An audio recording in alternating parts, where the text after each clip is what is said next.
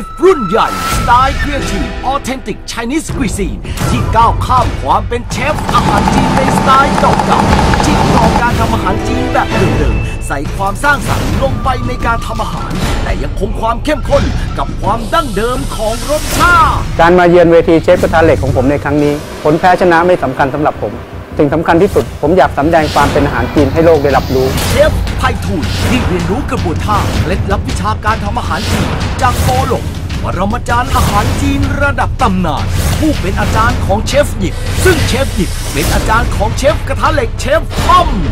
เชฟไพทูลผู้วางระบบและผู้คิดค้นสูตรอาหารของครัวเหลียนหัว แห่งห้องอาหารเมลเบอรี่โรงแรมเบอร์เคลลี่ ประตูน้ำ แล้ววันนี้ความสงบ จะสยบความร้อนแรง และนี่แหละครับเชฟไพทูลผู้ที่จะมาขอท้าชิงกับเชฟกระทะเหล็กในวันนี้ แล้วเจอกันเชฟกระทะเหล็กประเทศไทย